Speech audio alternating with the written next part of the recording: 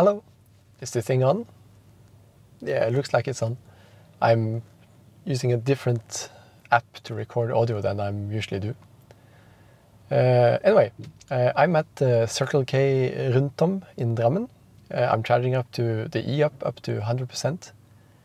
Uh, the reason for this is uh, last time when I did the test, I saw that I had vastly overestimated the range when using um, a better route planner. I think I put in eight, 90%. I thought I had put in 80%, and I got back with about the same.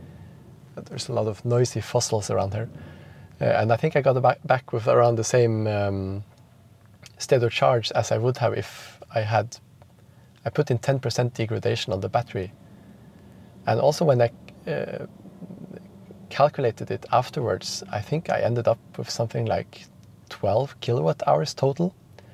Now, uh, when this car is new, it's uh, according to EV database, as you can see here, um, it has uh, a, a, usable battery capacity of 16 kilowatt hours, or about 95 kilometers of range, but that depends on how you drive, of course. So what I'm going to do now is uh, charge it up to 100%, drive it almost down to zero, briefly plug it in to see what state of charge is, and try to calculate what the actual uh, usable kilowatt hours that are in the car. Uh, I'm going to drive uh, back and forth to, um, or uh, first to Grelland and then back and forth, and forth a bit around there. Um, because there's a charger nearby. um, yeah, and I'm going to keep the speed around, or I'm going to keep it as close to 100 kilometers as possible to see if I can get a proper, you know, um, consumption at that speed as well. I should probably have done 110 to get it in the better route planner, but uh, a better route planner says 161 at 110 if I don't remember incorrectly. So, yeah, uh, currently the state of charge is 95%. and by the way, yeah, Circle K has massively increased their price. It's now four and a half NOK per kilowatt hours. It used to be two and a half. And the, the power price has gone down, so I don't know why these companies keep increasing the prices. It's a bit silly. The only one who doesn't do that is Tesla. anyway, uh, char uh, charging up, and um, I'll report back in when I'm at 100%. All right, so I've been sitting here like an idiot for uh, 10 minutes and uh, I didn't notice that the charging didn't go up and it's actually stopped at 95%. I tried to charge again and again it stopped at 95%. So I think it's the charger itself may be limited so it doesn't go all the way up. I have charged this car to 100% before and it does it no problem. But as you can see, it's not there right now. And um, I just have to do the math from 95% and down instead of 100%. Anyway, I'll, let's see if I can do this. I'm gonna reset the trip meter. I think it's actually better from this side, but it's kind of awkward to hold. Let's see. No, definitely better from the other side. So I'm going to reset.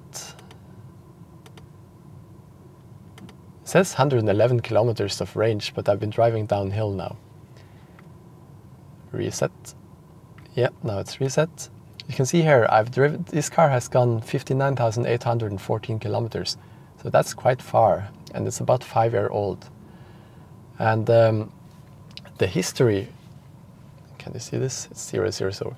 The his history is that uh, this car was um, owned by uh, by a woman, and uh, it, it, was not connected to we or the, the Volkswagen app, so it didn't have any limit on charging. So I think it's been charged to 100% every day before I got it, except when it was standing in the showroom for a year waiting to be sold, and I think it has been 0% in that time. So I don't think this is normal degradation.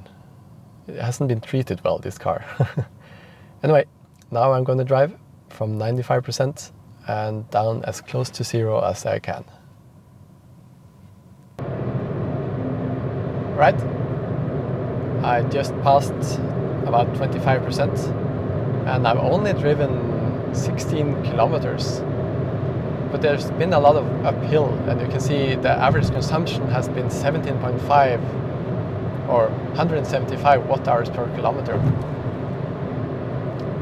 So still quite a way to go. It went up to 17 kilometers. I had this Model 3 behind me and uh, I'm going 10 kilometers below the speed limit here. And uh, this guy, I think he got fooled by the, you know, the traffic aware cruise control. It's like boiling a frog slowly. When you get behind a slow car, you don't notice that your car slows down and suddenly you're driving way too slow. so after maybe three, four minutes, he passed me. But here I see the speed limit is going down to 100, so that's, that's the speed I'm going now. Still not at Grelland, but I'll be there pretty soon. Alright, I'm about to pass 50% state of charge and I have driven 34 kilometers, so uh, yeah, I think it's been doing almost worse. Well, I was quite a bit below 75% when I checked at when it had 17 kilometers. So yeah, I think this is correct. And it does 163 watt hours per kilometers. That's more than a better route planner claims at 110 for some reason. But you see, it's, it seems like it's a fairly nice day today, but it's actually blowing quite hard. I can feel the wind tugging on the car all the time, and I'm sure that affects consumption as well. And I'm not sure if I've gone totally straightforward. It's been a bit up and down as well. But there it is, passing 50% and 36 kilometers. So I'm going to turn around yeah, maybe in uh, a Norwegian mile or 10 kilometers. Can you see this? It's, it's very bright. yeah, I'm gonna turn around uh, in not too long, so so that I don't go, so that I don't don't stop at least. I did bring my Type 2 cable just in case. Now it's a tunnel. It's a bit noisy. Yeah, I'll be back. Right, I just passed 25% and I've done 57 kilometers at 155 watt hours per kilometer. Car claims 19 kilometer left. so if you add those together, it comes to around 80 kilometers. Uh, well, 76 at this moment. But I'm not going to go all the way there. I hope I have enough juice to get back to Grelland. Oh. it claims that the closest charging station is outside of range. I hope not. no, I don't want to go there. No, there we go. So, almost 60 kilometers now. Uh, I think I think I should be able to make it. we'll find out. If not, I have to call NAF and they have to pick me up. So it's a bit more shady now. I've only been driving for 41 minutes. So it's, it's not a long distance car, it's a city car. But it's kind of funny to see how far it actually goes. And the battery capacity, how much has it degraded? So we'll find out soon. Look, it's already dropped 5% since I started this clip. Now I'm, yeah, not quite time to hypermile yet. right, I am at Grelland, as you can see here. Quite a few people charging here today. Uh, I've done 66 kilometers and used I've used 149 watt hours per kilometer. So that's actually the a better route planner is not seems to be correct in this regard. Uh, I have 12 kilometers range left.